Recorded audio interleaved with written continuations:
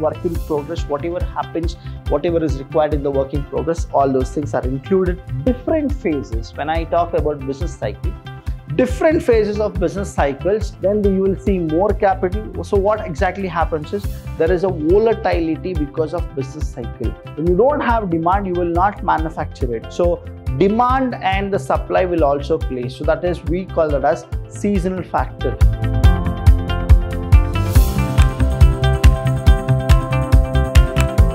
Hello everybody, a warm welcome to one and all. I'm Abhilash Chandra from the Department of Business Studies in Vidhyaashram PU College, the Temple of Excellence. Welcome to the session. Here in this session, we're going to talk more about working capital. So I told you that what exactly a working capital is all about. So whenever you go and you buy current assets, we usually use working capital. So what exactly a working capital is? A working capital is a capital which is used to buy or purchase the current assets. So you should know what exactly a current asset is all about. So when you think about current assets, I'll give you a simple kind of uh, suggestions or a tips to remember what exactly is a current asset. Current assets are those assets which can be converted into cash very fast. So it's like you buy current asset, you don't have money, you sell those current assets and you get the cash. So that is what the current asset is all about. So when I talk about asset, assets are something which you have. That is called assets, right? So we'll go with it. Working capital, what exactly it is? Apart from the investment in fixed assets, every business organization, I'll tell you, let me include all the business organizations, right? Whenever I talk more about business organization, it's all about what? Where people are actually going with economic activity. Economic activity. Now you should know that the characteristics of business is what? It's an economic activity, right? So this is what it is.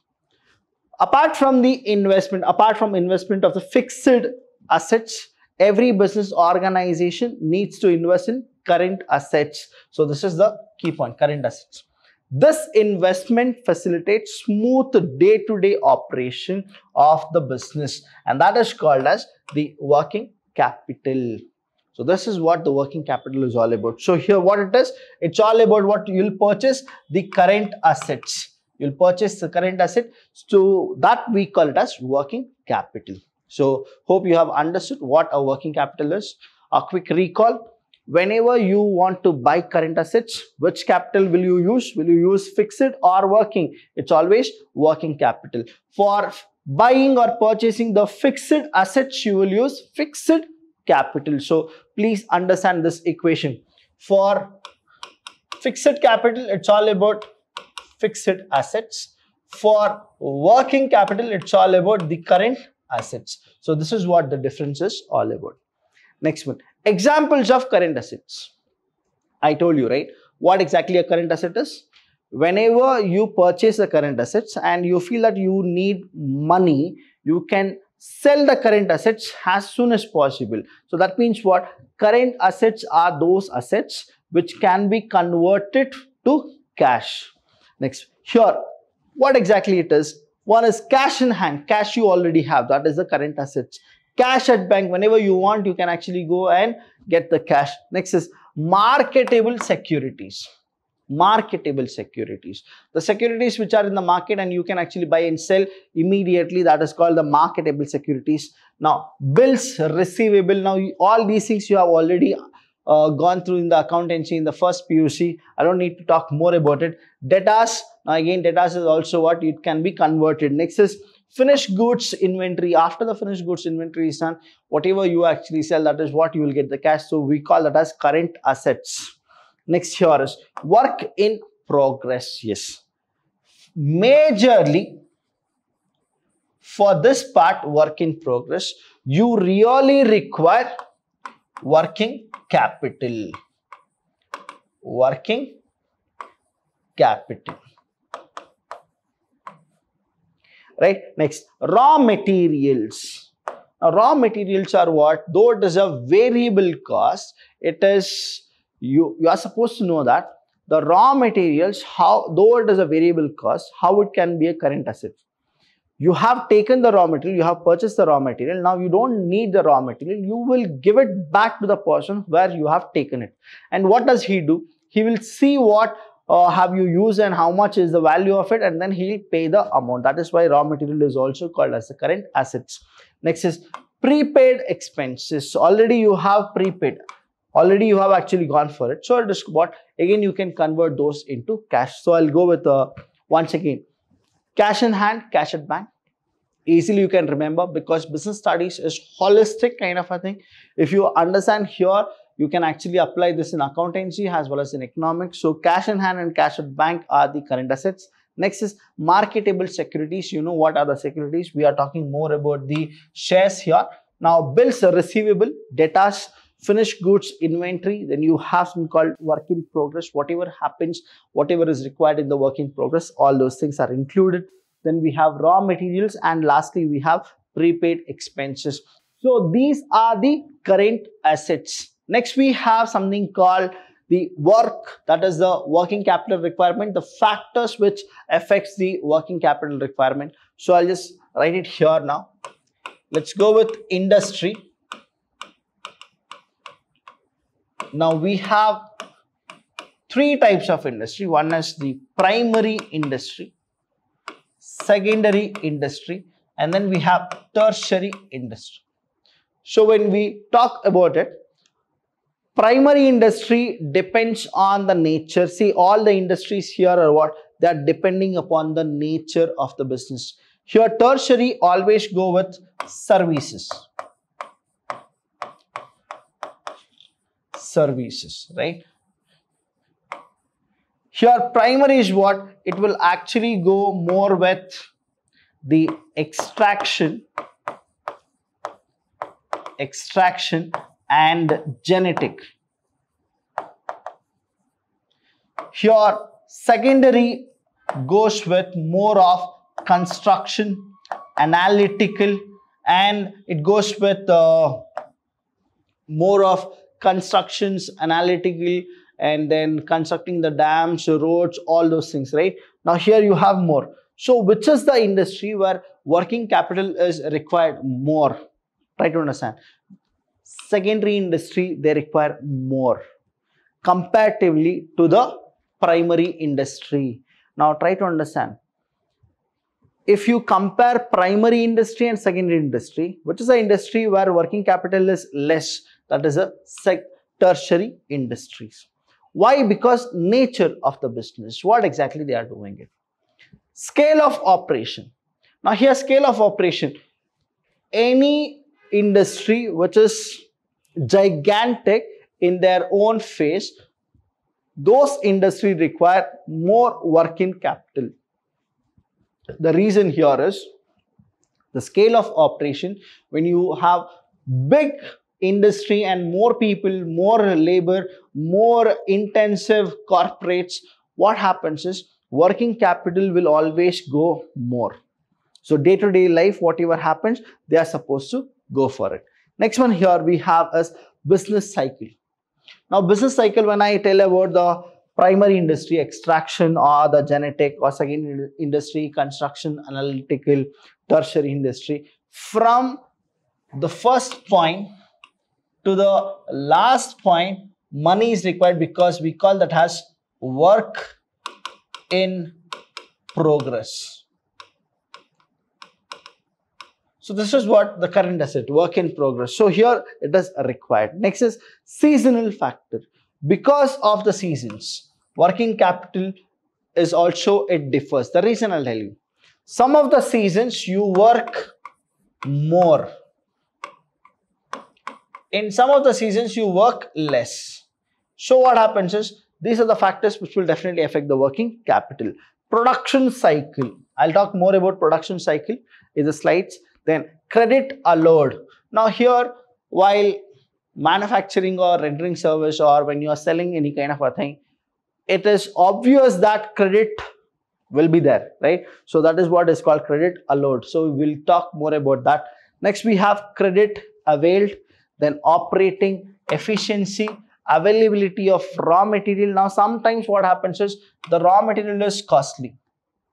Sometimes the raw materials are costly. Sometimes it is minimized. Next is you have is growth prospects, then level of competition, inflation. Now, inflation means what? Uh, general raise in the price of all the commodities we call it as inflation again working capital will also have a impact on inflation so we'll go one by one what exactly these things are first is nature of business the basic nature of business influence the amount of working capital required. A trading organization usually need a lower amount of working capital compared to the manufacturing organization. So if you have seen the fixed capital fixed capital factors the nature of business will actually impact in the fixed capital as well as the working capital. So i don't need to explain it more. If you have not watched the session 9 please uh, go and watch it. Session 10 also you need to watch. So these are the things which you will come across and then it is very useful as well as it is very easy to understand what exactly these things are. Nature of business like a trading concern or you compare it with any of the other kind of a business where the working capital is required more. So in a trading concern what happens is every day you don't need to actually invest more but if it is a manufacturing one every day there will be what the money will be taken and uh, they'll use it for the purchase of current assets. Next is scale of operation. Again, it's the same kind of a thing. Fixed capital and the working capital. Both of them will have an effect on scale of operation. Supposingly, a big company is there, the way they are operating and a small company, the way they are operating, both will not match with the working capital as well as the uh, fixed capital. So, they will definitely have a problem here. For organization which operates on an higher scale of operation, the quantum of inventories data required is generally high. You need to understand that yes, if the scale of operation of operation is more, what happens is if it is more, what will happen is you will incur more money. When you incur more money, it will definitely affect the working capital. Instead of 1 lakh rupees in a small company, if you compare it with a big company, probably they will actually go with 5 lakh rupees or 10 lakh rupees per day. So this is what the thing and it will definitely affect the working capital system. Next one here is business cycle.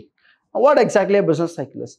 Different phases. When I talk about business cycle, different phases of business cycles affects the requirement of working capital by a firm. When they go with more of business cycle, what happens is, now we have something like, I'll just give you an example here itself. Say this is the first one, this is the second one, here the third one, the fourth one, and the fifth one. So whenever you go with it, initially you don't require more money, right? Initially you don't require more money. Later it is all what? The more. That means what? The more you are going for the business cycle, initially it will be less working capital, then you will see more capital. So what exactly happens is there is a volatility because of business cycle. In case of boom, the sales as well as productions are likely to be higher. So initially when you have less uh, sales, what will happen? And the products, what will happen? you need to understand here sales you, you have. Here the production is there. Now the more sales will make you feel that you should go for more production. But if you produce more and sales are less, that is a loss for you. So what exactly happens is when the sales and the production both are doing really good, more working capital you are supposed to put. If sales and production is less, less working capital will you will put. So the business cycle will actually play a very huge role in the factors which will affect the working capital. Next is seasonal factors, the same kind of a thing. We have something called lean and uh, we have something called peak. This is called the peak where sales are more.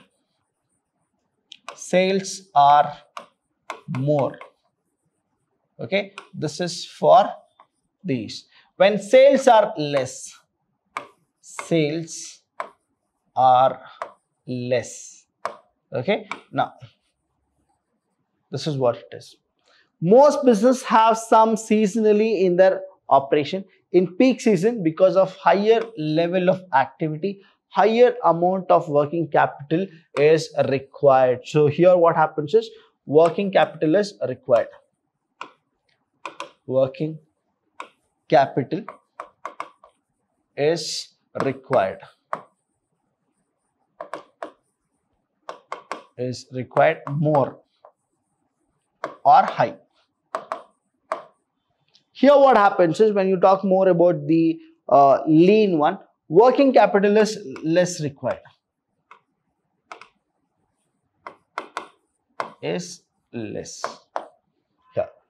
Has against this, the level of activity as well as the requirement of working capital will be lower during the lean season. Yes. See, it's a best example I'll tell you umbrellas.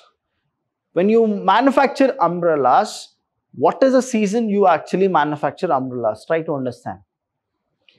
If you talk more about the sweaters, right? When you're manufacturing sweaters, which is the season you will manufacture more sweaters? Now, when you have demand, only then you will actually manufacture it. When you don't have demand, you will not manufacture it. So, demand and the supply will also play. So, that is, we call that as seasonal factor. In the month of uh, Jan, Feb, March, what exactly the seasons are there? Now in winter, which is the uh, peak for few of the product, in winter, which is the lean for few of the products. So this is what they actually calculate and then they will go with working capital management. So these are the things which you need to understand students working capital only half of the portion I have completed in this session. Next session, I'll be completing the entire working capital that is the factors which affects the working capital. Stay tuned for the next uh, session as well. Thank you. Until then, I'll see you when I see you.